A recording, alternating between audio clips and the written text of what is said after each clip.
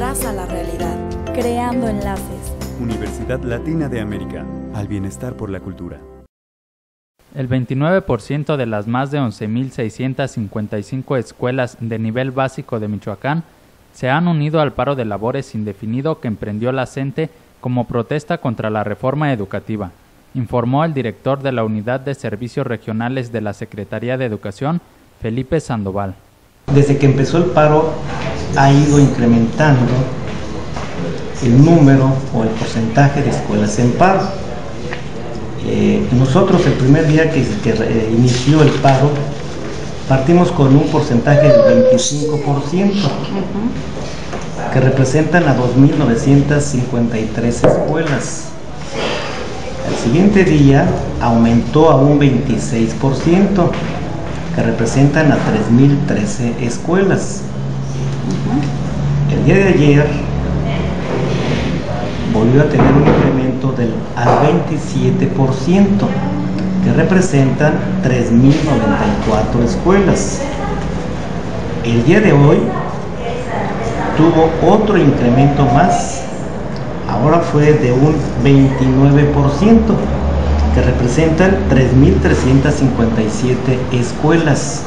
Felipe Sandoval dijo que con la suspensión de clases se han visto afectados más de 300.000 alumnos estudiantes de educación básica en Michoacán.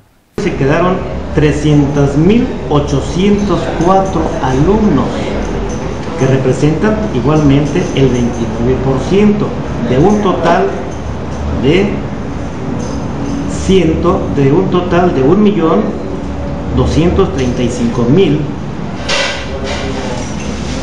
900 alumnos que tenemos nosotros en los diferentes grupos.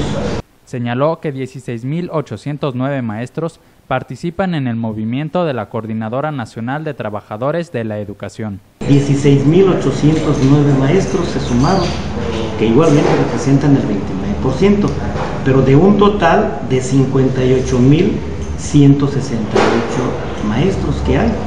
Felipe Sandoval informó que de las 10 oficinas regionales de la Secretaría de Educación que hay en el estado, los docentes mantienen paralizadas 8.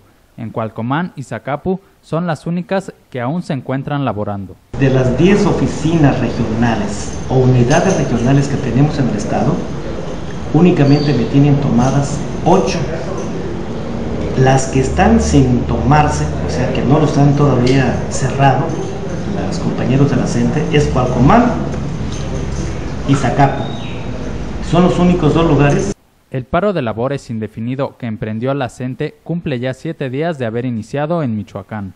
Con información de Olaf Trujillo Informa, Cuasar TV.